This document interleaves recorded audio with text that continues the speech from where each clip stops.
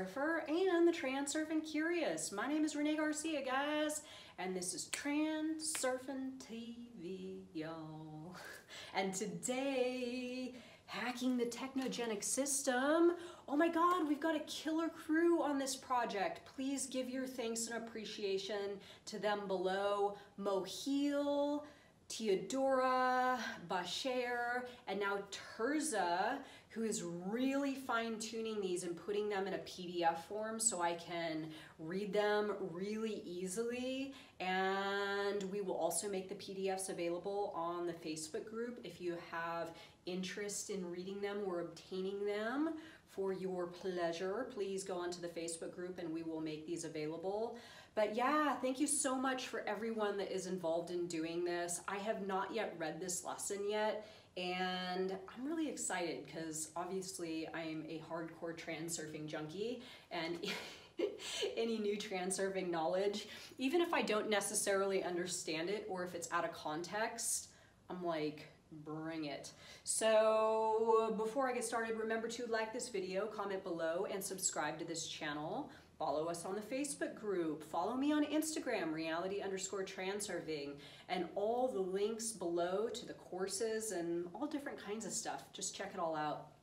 And please support us at Transurfing TV by engaging if you like this video. Okay, so let's go right into it because I'm super excited today to do this.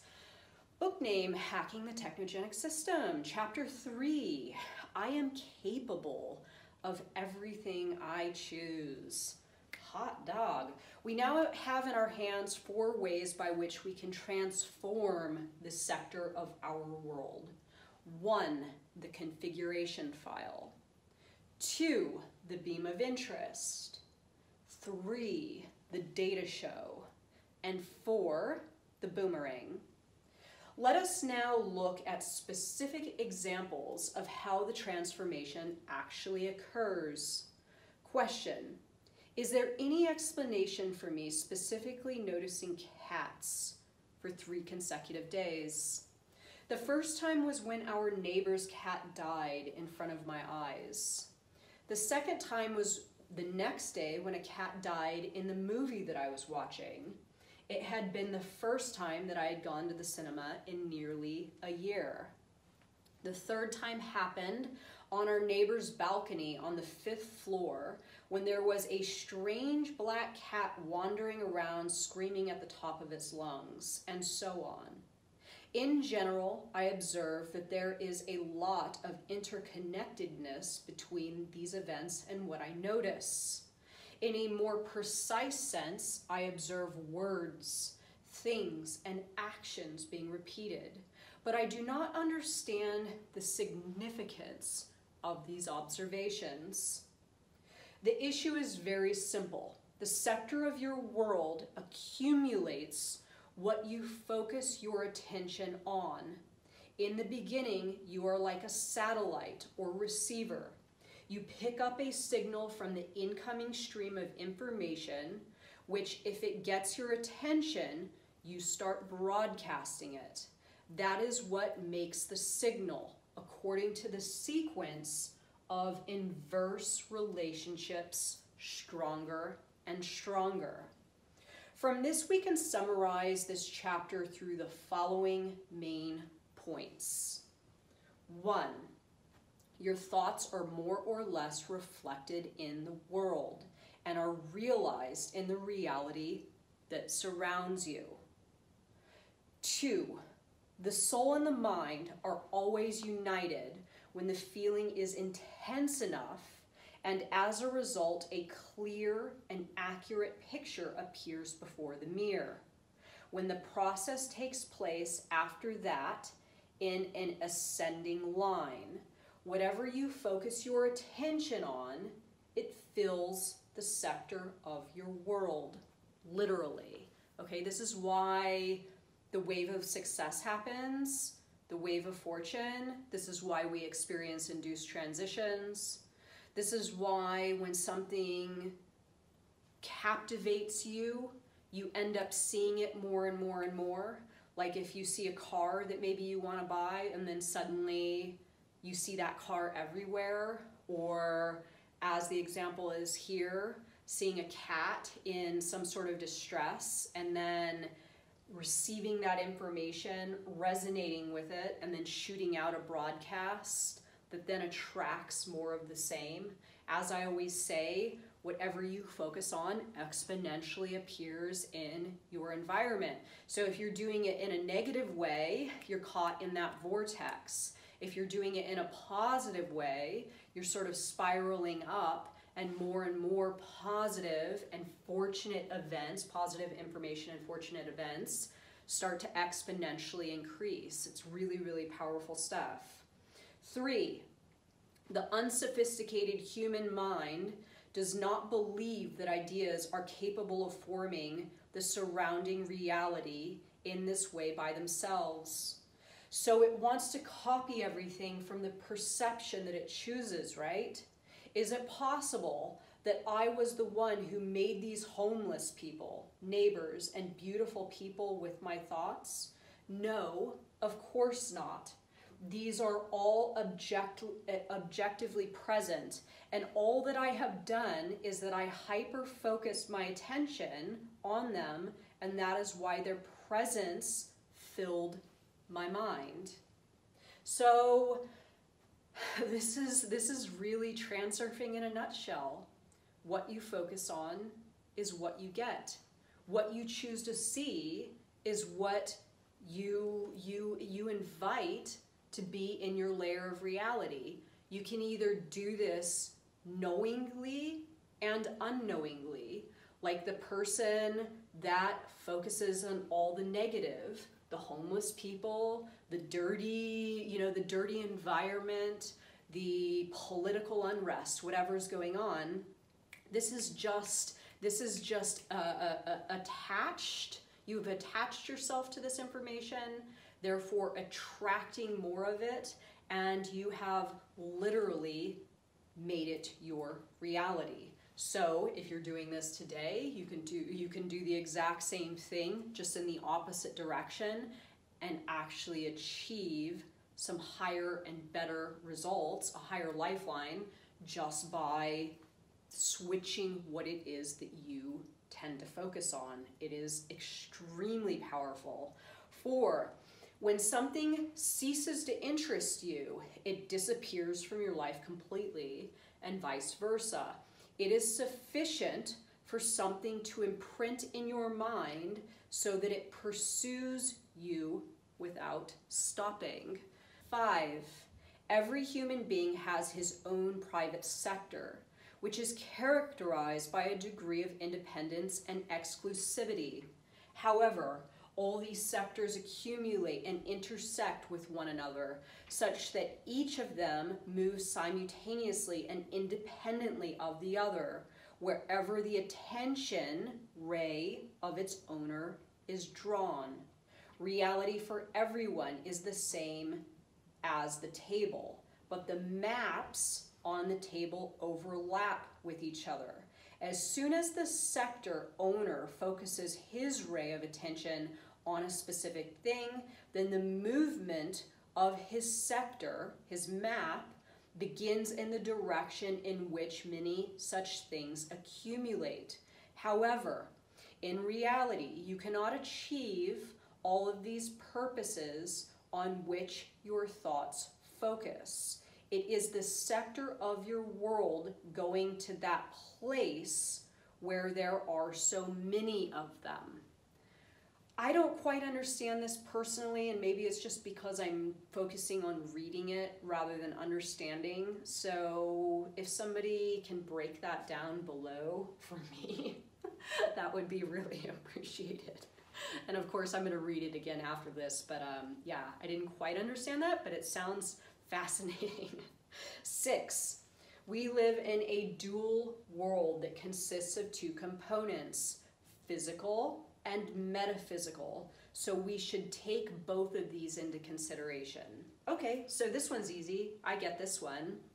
There's the physical world, which is the materialization of a certain sector of the metaphysical world. Everything that's here now in the physical realm, was once just an idea in the metaphysical realm. So if you want something that you currently don't have, you use the transurfing concepts to pull it from the metaphysical realm into the physical realm. Seven, in addition to this, you do not live alone in this world because sectors of many people intersect in time and space.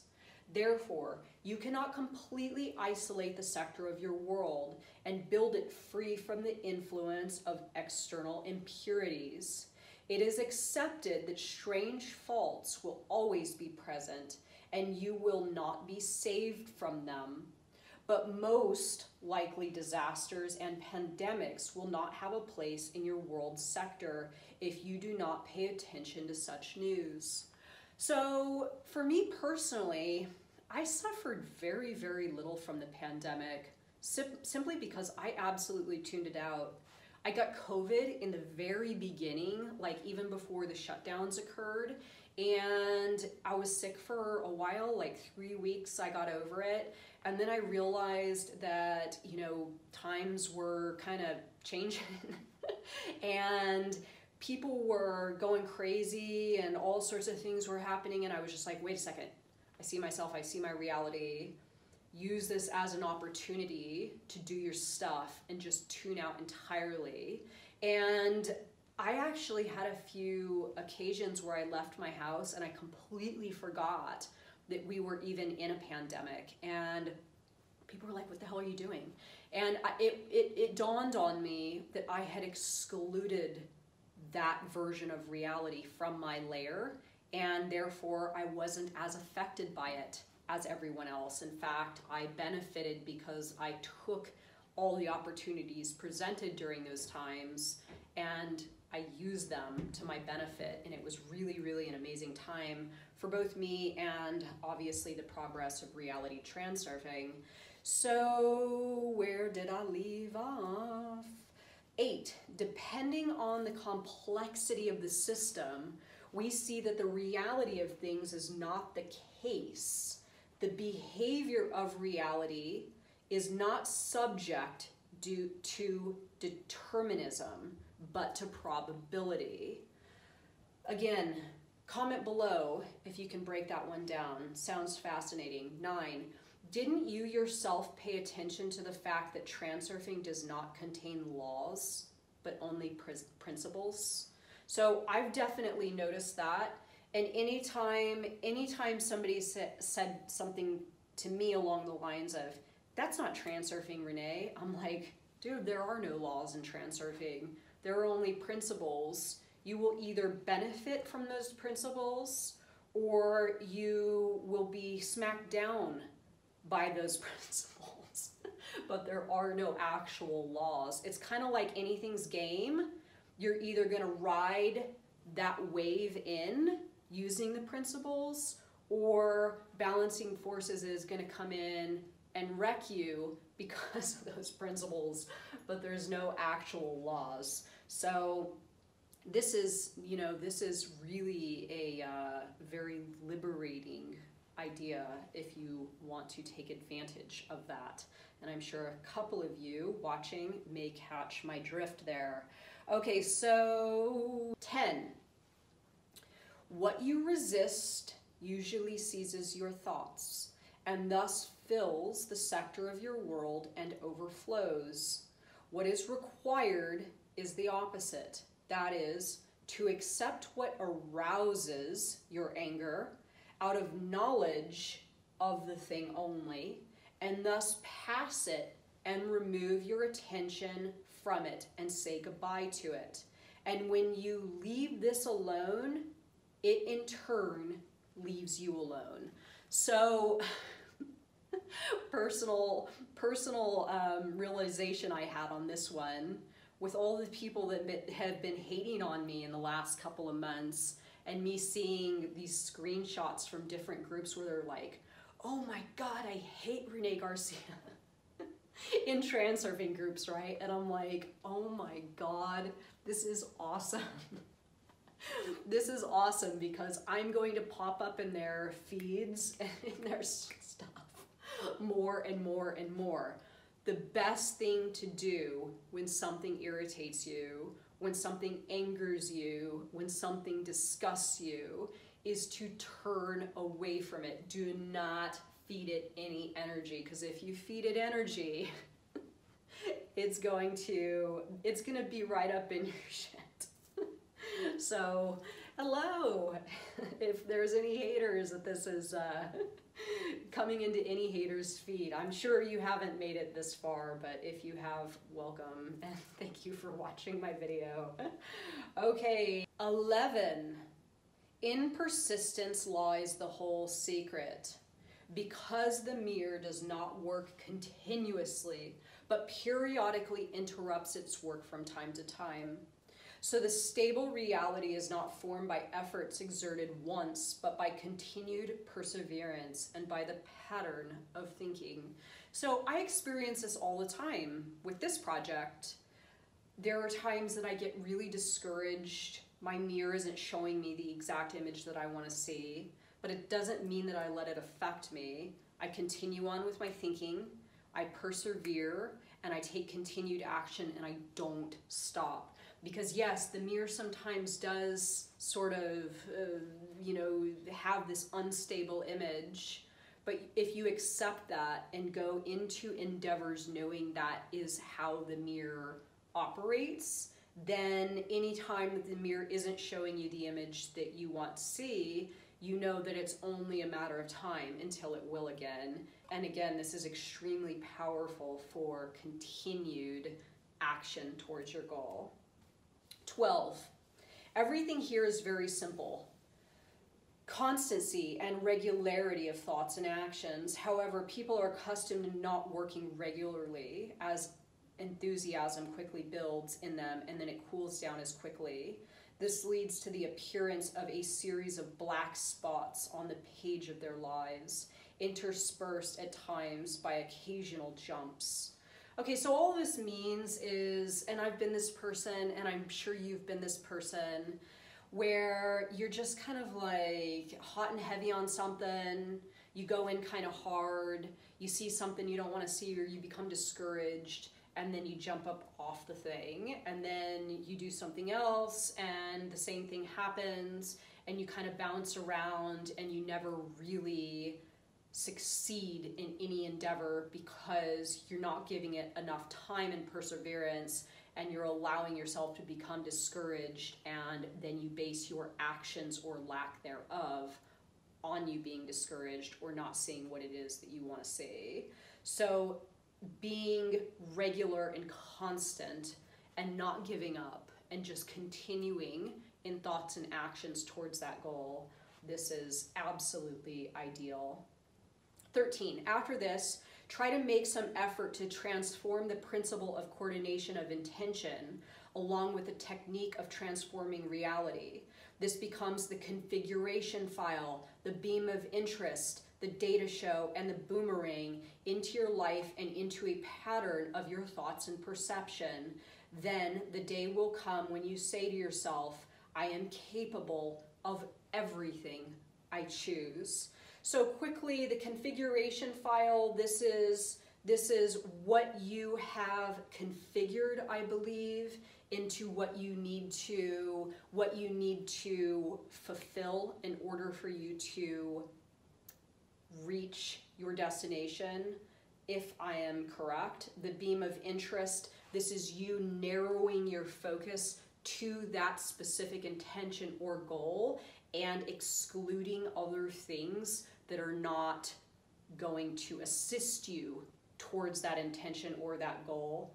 The data show, not sure what that is, but the boomerang, obviously, what you throw out is what you get back. So if you want something, make certain that you are throwing out the frequency, action, and your thoughts in a way that is going to help you with returning that boomerang back to you with more of the same. This is very, very powerful.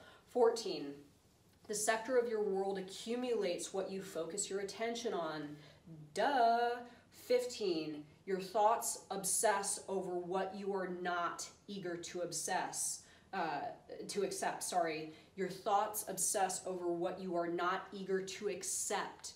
Okay, so this is classically focusing on what you don't want, what you don't like, what isn't working, what is going wrong, instead of you doing what is necessary to help you really gain momentum, focus on what is working, what is right, what is going right, what you have to help you, what you can do, all that positive stuff, and throwing everything else out. Um, 16, the sector of your world moves to where it is attracted by your ray of attention. The sector of your world moves to where it is attracted by your ray of attention.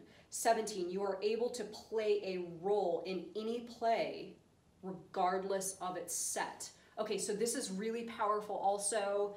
You start playing the role of whatever it is, imitating action, whatever it is you want to be, have, or do, you start playing the role that you feel is that future or higher version of yourself obtaining that thing that you want to have, being that person, doing that thing, whatever.